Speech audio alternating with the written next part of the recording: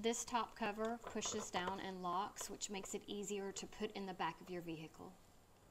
And the Motocompo weighs 90 pounds.